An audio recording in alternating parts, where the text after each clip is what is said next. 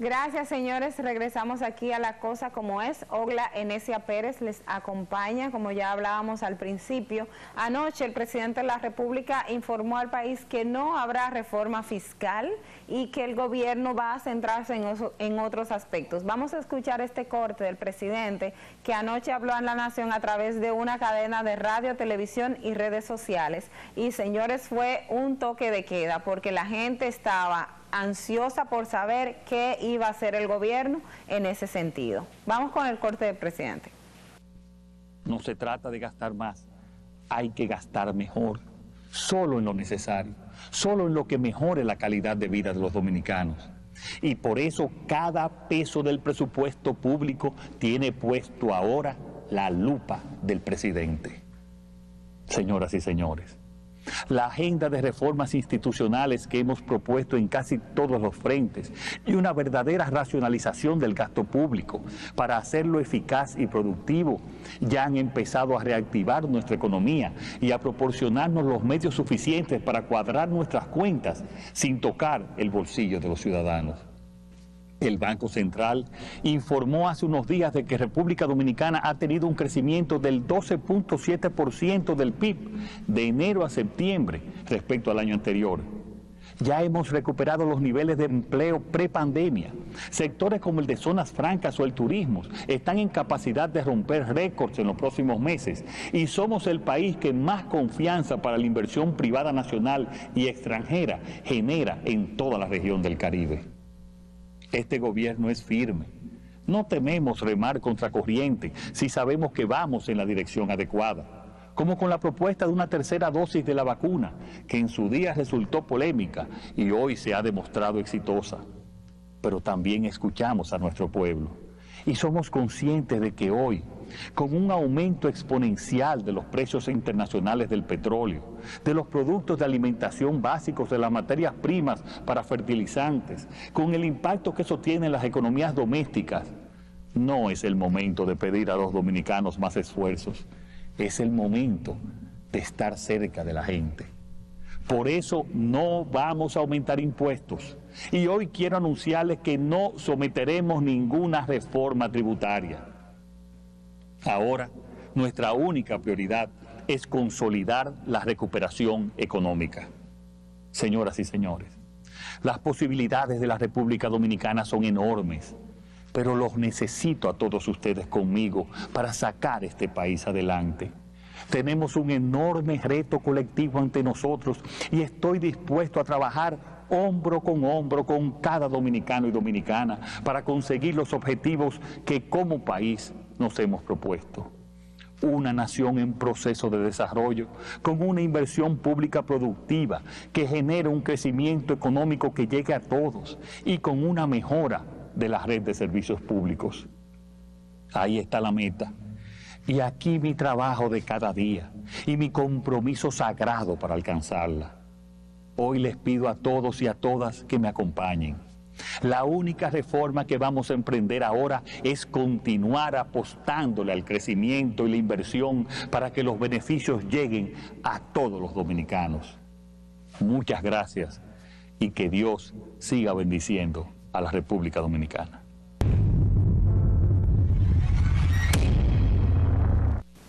Ahí escuchaban al presidente de la República eh, señalar las razones de que no va a someter la reforma o el proyecto de reforma fiscal que había dicho. Recuérdense que el 18 de agosto pasado, cuando Abinadel eh, emitió el discurso a la nación y planteaba las 12 reformas eh, institucionales que entiende que, que, se deben de hacer en el país para encarrilarlo y salir del proceso que llevamos a cabo, estaba lo que es la reforma fiscal integral, que de hecho en las últimas semanas eh, se ha discutido y se habló de, en el Centro Económico y Social, que es donde se está debatiendo esos esas propuestas de, de, reformas institucionales y el tema de la reforma fiscal, se hablaba de que se iba a someter. Sin embargo, el presidente ha dicho que ha escuchado a la población, que no temen remar contra la corriente porque la situación está compleja, pero que asume que en este momento no, no va a cargar más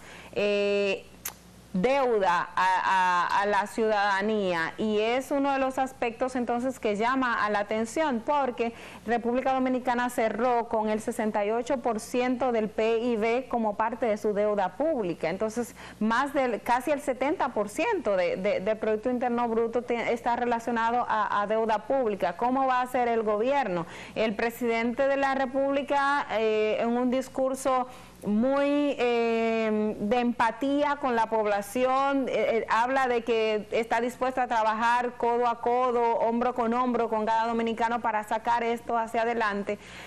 sin embargo, entendemos que hay algunos aspectos que, que el gobierno debe de ahora aclararlo. El presidente hablaba y hacía referencia de que este país tiene mucho potencial, nosotros lo sabemos.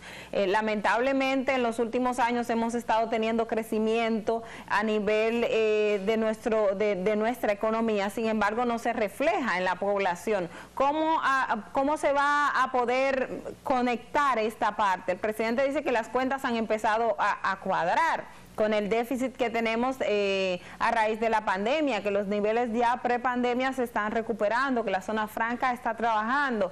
Sin embargo, eh, existe el temor de qué va a pasar porque es que la deuda pública se cerró en más de 58 mil millones de dólares.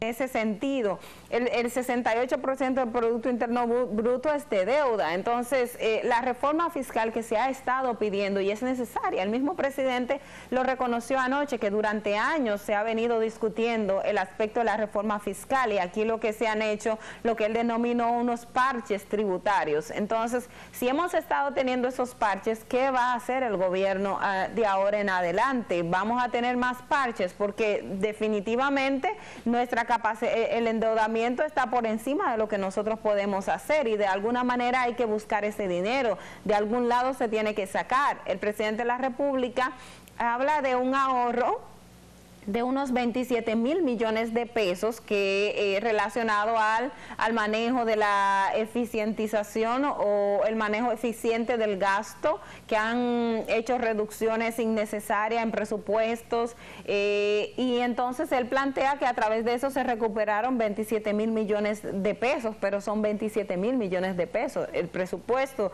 de, de, la nación es de billones de pesos. Entonces, ¿cómo vamos a, a conectar con esto?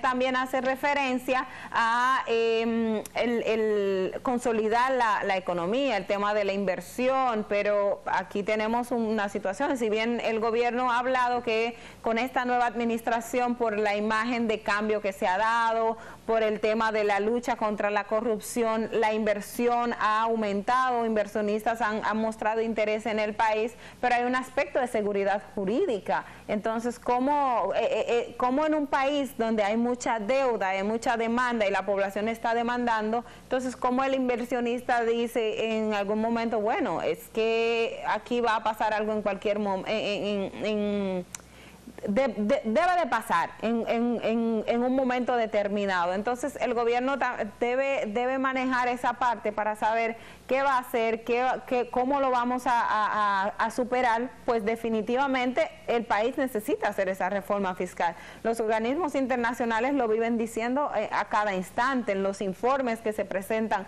periódicamente hablan de esta necesidad.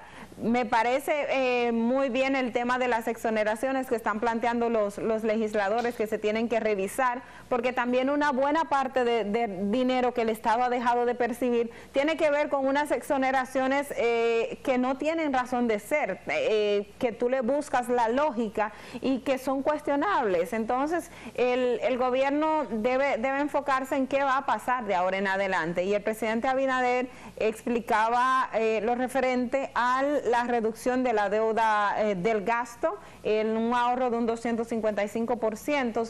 vamos a escuchar lo que dijo el presidente anoche en el, en el discurso para que puedan tener una idea de lo que él enumeraba, de en cuáles sectores o en cuáles eh, áreas fue que se aplicaron las reducciones entre enero y septiembre de 2021 hemos disminuido un 255% los gastos con respecto al mismo periodo del año anterior en todas las partidas que no afectan directamente al bienestar de los dominicanos consiguiendo un ahorro de más de 27 mil millones de pesos. Entre las más significativas debo señalar una reducción en el gasto de publicidad y propaganda del 70%, al bajar de más de 5.490 millones de pesos durante el periodo anterior a 1.612 millones en este. En las partidas de uso discrecional, de enero a septiembre del 2020 se gastaron 4.437 millones mientras que en el mismo periodo, ya con este gobierno, apenas se ejecutaron 161 millones de pesos, una reducción del 2.648%. En dietas de alimentos y bebidas, el gasto se ha reducido un 143%. Dentro del país, la reducción de dietas alcanzó un 2.136% respecto al 2020 y en viáticos a personas con labor diplomática y consular, la disminución llega al 87%. En la compra de muebles y equipos de oficinas gubernamentales, la ejecución en el 2021 fue de 479% menos con relación al 2020. Y en materiales perecederos, las reducciones sobrepasan el 1.500%.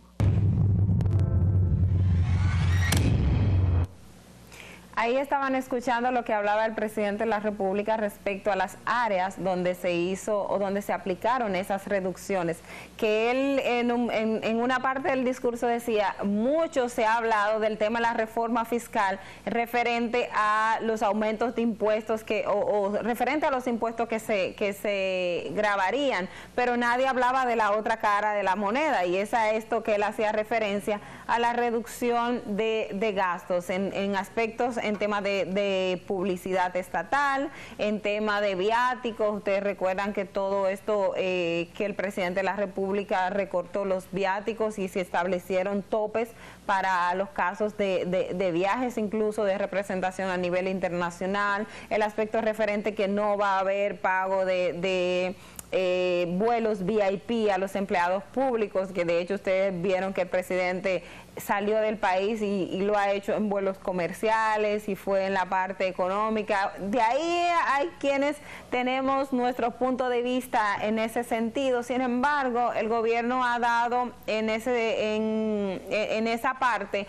un mensaje de lo que ellos están buscando y definitivamente esos gastos se debían y se deben de, reducir. Aspiramos que en otros, en, en otros segmentos o en otros rubros, como podríamos decirlo, también se apliquen esas reducciones de gastos innecesarios, el tema también de aumentar una nómina sin necesidad de hacerlo, porque tenga que nombrar a, a fulano o a sutano, porque alguien trabajó o no trabajó en la campaña electoral. Este tipo de aspectos también se tiene que eh, tomar en cuenta. Algo que el presidente Abinader ha demostrado es que durante sus procesos de, eh, no digamos rendición de cuentas, porque no ha llegado el tiempo de la rendición de cuentas, la rendición de cuentas se hace los 27 de, febrero, pero en el discurso que emitió el año pasado, eh, hace unos meses, el 18 de agosto, él era muy enfático en hablar con estadísticas. El presidente Abinader se ha caracterizado con por hablar con estadísticas y en ese sentido, con referente a los parches tributarios, lo que él ha denominado parches tributarios, él hacía, decía lo siguiente, que en el año 2005 se establecieron impuestos a los hidrocarburos y ese aumento fue de un 13% y que en 2006 se aumentó a un 16% y se aumentó el ITEVIS de un 12 a un 16% en el año 2005. En el año 2011, según eh, comentaba el presidente de la República, el impuesto sobre la renta a las personas jurídicas se aumentó hasta un 27%.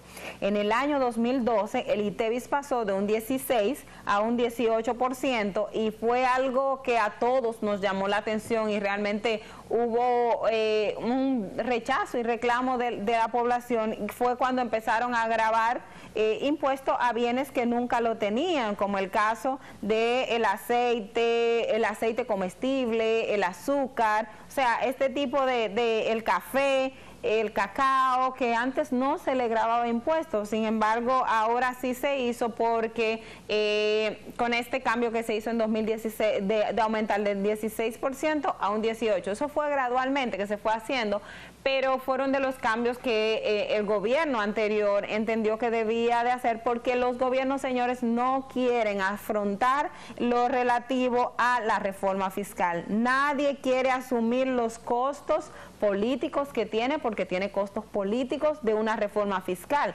Pero ¿qué va a pasar con nuestro país? ¿Qué va a pasar en República Dominicana?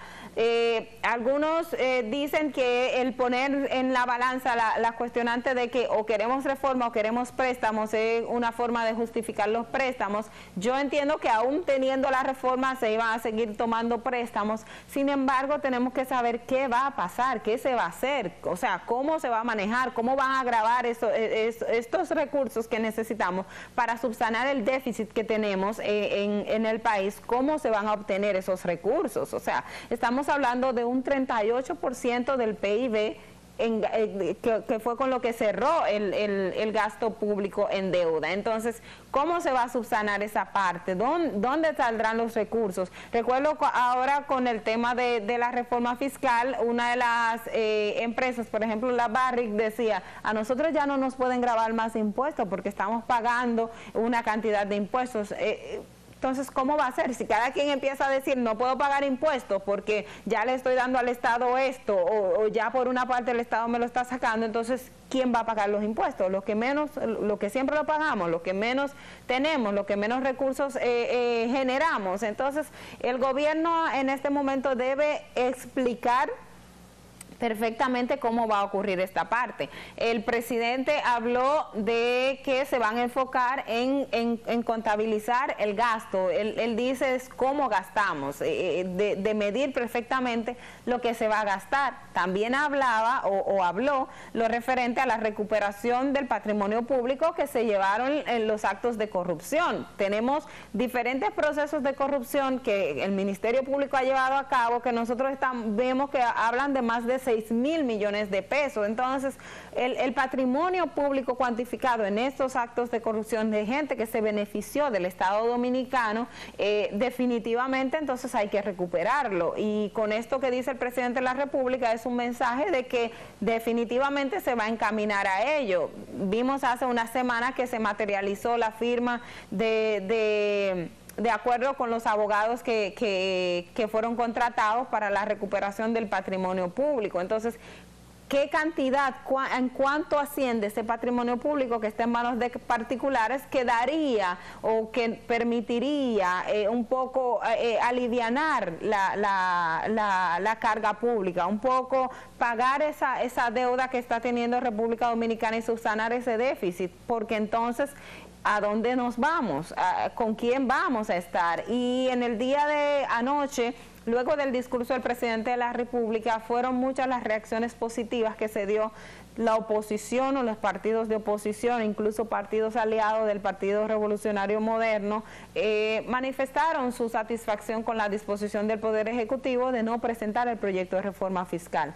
Ahora, ¿qué van a hacer esos partidos de oposición junto con el gobierno para poder subsanar la parte de la deuda pública que tenemos? ¿Qué van a hacer para poder ya nosotros eh, dejar de cargar de impuestos a la gente más pobre? a la gente menos poseída, al que se, que se levanta a las 3, las 4 de la mañana para ganarse 15 mil, 20 mil pesos y que a la hora que va al supermercado o a la hora que va a la ferretería o a la hora que quiere eh, eh, comprar un bien y servicio para su casa, tiene que pagar montones de dinero en, impuestos. O sea, ¿cómo vamos a, aliviarle la carga al pueblo dominicano? ¿Cómo vamos a dejar de beneficiar a unos cuantos a través de exoneraciones o a través de, de, de esos mecanismos que son para generar empleos, pero que al final nosotros nos cuestionamos si el beneficio que reciben se corresponde con la cantidad de empleo que se está generando a través de esas empresas. Entonces, eh, es el momento de que en la mesa se sienten los diferentes actores para saber qué vamos a hacer, porque la reforma debe de llegar en algún momento, en algún momento debe de llegar, entonces tendríamos que evitar que pase, por ejemplo, como cuando pasó con el tema de la banca, o sea, que el presidente Hipólito Mejía asumió un proceso que llevaba años, o sea, que todo el presidente sabía que había que hacer algo con el tema de, del que estaba pasando el sistema bancario en ese momento, pero nadie quería asumirlo. Y el presidente Mejía lo asumió y tuvo un costo porque ustedes vieron cómo estaba República Dominicana. El dólar disparó en el año 2003, 2004 a, niveles que ahora mismo todavía no ha llegado, porque creo que sobrepasó los, el 60 por uno en, en ese entonces. Entonces, ¿Qué va a pasar? ¿Quién va a asumir esto? ¿Cómo se va a asumir? E, es lo que es lo que se debe poner sobre la mesa, porque definitivamente los 27 mil millones de pesos que se ahorró el gobierno en, con estos gastos que redujo no son suficientes. No son suficientes. ¿Por qué? Porque la deuda pública está en más de 58 mil o 56 mil 56 mil millones de dólares. Son 56 mil millones de dólares. ¿Con, ¿Con qué vamos a pagar esto? ¿Cómo se va a manejar esto? Es lo que ahora el Estado y el presidente de la República tiene que decirle a la población. Y es lo que nosotros aspiramos a que nos diga más adelante porque definitivamente una respuesta debe de haber. Los organismos internacionales han planteado, hay, hay, hay una metodología. Recuerdo que el presidente Abinader en la cumbre iberoamericana de jefes de Estado y de Gobierno dijo que eh, los estados, valga la redundancia, tenían que, que planificar bien cómo se iba a hacer porque em, eso puede traer desescalada de violencia y creo que evitando esto es que el presidente de la República decide no presentar el proyecto de modifica, el proyecto de reforma fiscal, pero es algo que se debe de hacer, señores. Así que nos vamos a una pausa, vamos a regresar ya en nuestro siguiente bloque, vamos a hablar de lo que ha hecho el Ministerio Público, que ustedes saben que en el día de ayer llevó a cabo la operación Larva. Nos vamos a una pausa y regresamos en breve.